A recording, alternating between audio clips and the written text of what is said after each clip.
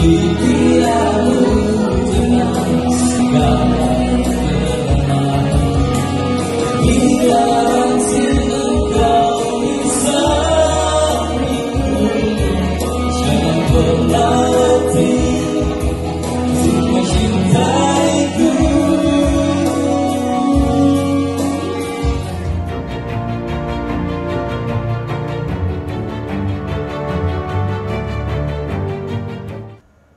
Balik lagi bersama saya di El Gracie Channel. Video kali ini akan menunjukkan salah satu pantai di Sumba Timur, Pantai Watu Parunu namanya.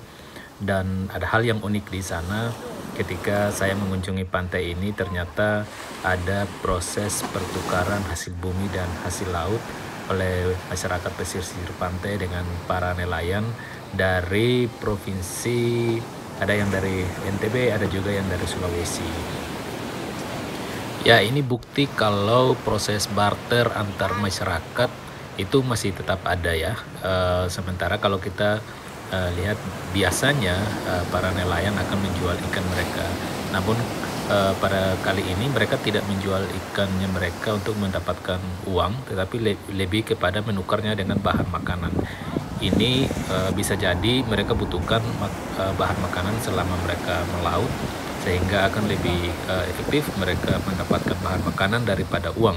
Karena kalau misalnya uang mereka mau belanja di mana? Sementara misalnya mereka uh, berbulan-bulan di atas laut misalnya seperti itu ya. Jadi uh, sekali lagi ini uh, praktek yang sudah lama ada di Indonesia dan menariknya uh, saya uh, menemukan kembali ini terjadi di masyarakat. Ini satu pengalaman yang luar biasa bisa menyaksikan secara langsung.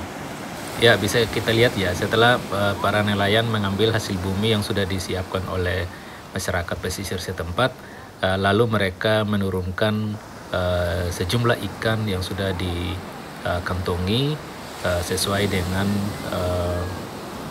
barang yang mereka terima dari masyarakat. Jadi kita bisa lihat ikan ditukar dengan hasil bumi. Bisa dalam bentuk sayur, ada kelapa dan banyak lagi. Tadi saya sempat lihat dan saya sempat uh, tanyakan ke masyarakat apa isi dalam karung-karung itu. Jadi saya pikir ini satu tradisi nenek moyang kita yang patut kita pertahankan. Saya sempat wawancara penduduk uh, pesisir pantai yang ada saat itu ya. Mereka bilang uh, sebagian dari ikan itu akan mereka jual, sebagiannya um, akan mereka uh, makan atau sebagai lauknya mereka.